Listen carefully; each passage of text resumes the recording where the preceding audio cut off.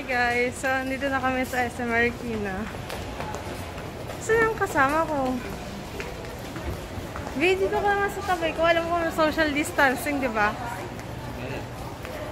Pwede kami lang. Grabe, straight to the point eh. Ano una natin gagawin? Eh, papalagin mo na. Sayang aircon. Joke lang. Hindi pa ako kumakain.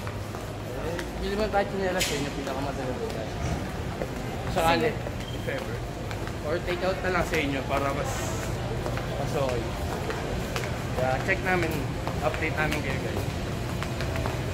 Manonood din kami ng movie mamaya. Ayun. Ano sasabi mo dun? Eh, long time no, no watch. Kaya natin ko na ako sa movie.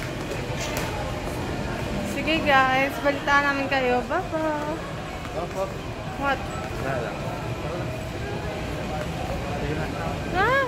So, ngayon guys, nakain tayo dito sa may SM, sa may food court ng Sisig Hooray. So, ayun, kakabili lang namin ng sa bench ng chinelas ni Rodon and yun siya.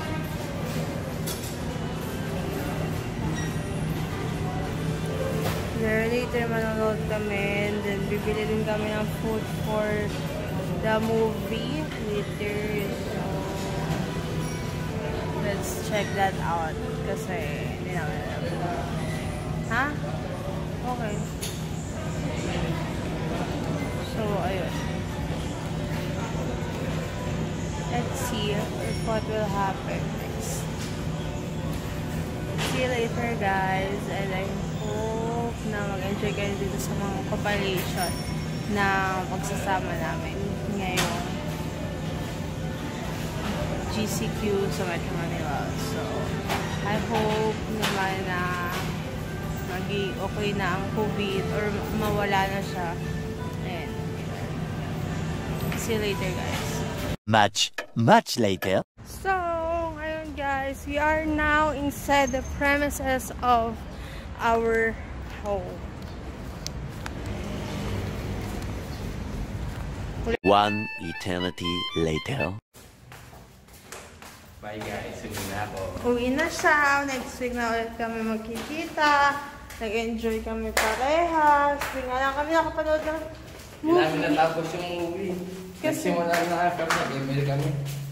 Tsaka kasi akala ko naantok ako yun pala. Wala lang. Email lang, no? Tsaka Oo, nag eh. ano, pansit canton din kami. Oh, pansit canton date. Itong date na to, sobrang nag-enjoy kami parehas. Nakapat na pansit canton. Hindi kami nag-away.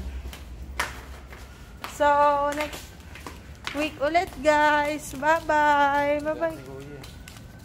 Ayun na ba yun? Oo, si Bishi Almera. So yun guys. Yan next week na lang ulit, ha? Okay, bye-bye Stay guys. tuned. Stay tuned. Uy, puta, uy, susu. Stay tuned guys. Subscribe kayo palagi. May updates pa siya. Tsaka So, kay Makata Gamer. Bye! Ingat kayo ha. Always stay safe, wear mask. Okay, social distance. Okay, bye.